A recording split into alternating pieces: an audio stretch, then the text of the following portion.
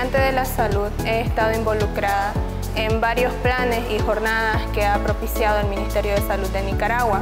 Dentro de ellos, como jornadas de vacunación a nivel local aquí en Bilwi, también en diversas comunidades como Sisín y Santa Marta.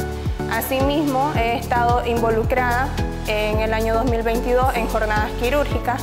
En el año 2021 he sido apoyo en ferias de salud y también hecho investigaciones a nivel personal eh, con el tema del impacto de la contaminación y su repercusión en la salud de los pobladores del barrio Loma Verde.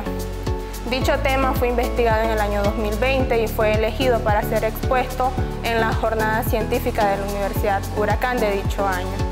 Asimismo participé en el año 2020, después de los huracanes Eta y Iota, en una investigación que se realizó en las comunidades de Jaulover y Guababar, que era sobre el impacto de la nutrición en los niños y adolescentes.